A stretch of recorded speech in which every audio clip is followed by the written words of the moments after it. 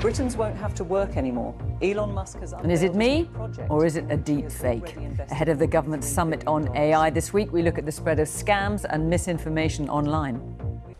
International leaders and tech companies will gather at a summit at Bletchley Park this week, organised by the government, to discuss how to maximise the benefits and guard against the dangers of artificial intelligence. One issue they'll be considering is the use of so called deep fakes videos of people which have been altered or created using AI to spread false information.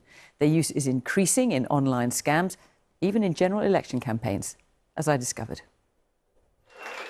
Just ahead of the Labour conference a few weeks ago, an audio clip was circulating of Keir Starmer berating an assistant. No, I'm sick of it. No, I'm sick of it. I'm sick of it. Every single time. It's completely fake. And then there's this. Britons won't have to work anymore. Elon Musk has unveiled his new project, in which he has already invested more than $3 billion. No other project has ever given this kind of opportunity. We asked Elon about the news, and here are his comments on it. Spot the difference. That's not me. Did you think it was me? I mean, it's pretty convincing. It's very disconcerting to find yourself deep faked in this way. This is a financial scam trying to get people to hand over money, and I was worried that people would fall for it. And in fact, even people who know me, know me well, were taken in by it. My hairdresser was watching videos on his phone and saw something that suddenly looked familiar. You're reading the news, and I just thought, I just listened. And you thought that was me? 100%. And it was basically a scam to get money out of you. Did you give them your information?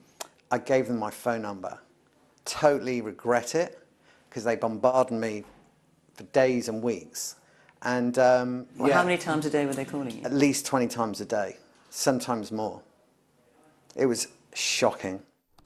Creating a deep fake can take just minutes thanks to increasingly sophisticated AI websites, and it's hard to know who's behind them. How worried should we be? We're fundamentally unprepared to deal with the consequences of hyper-realistic deepfakes, whether that's audio, video, or indeed images, partially because they are so convincing now. They've become so much more realistic. And to that end, we've seen them increasingly over the last year introduced into the political sphere with disinformation in places like Ukraine, Sudan, and Venezuela. So, how true is it that Venezuela is such a poor country? This isn't a newsreader, it's an AI avatar spouting fake propaganda supportive of the government in Venezuela ahead of the election, a blatant attempt to try to influence the vote. There we go. Even the Prime Minister has fallen victim, faked to look like he can't pull a decent pint. From elections to financial scams, how can we know what to believe? The technology to tell if a video is real or a deep fake is still unreliable. Viewer, beware.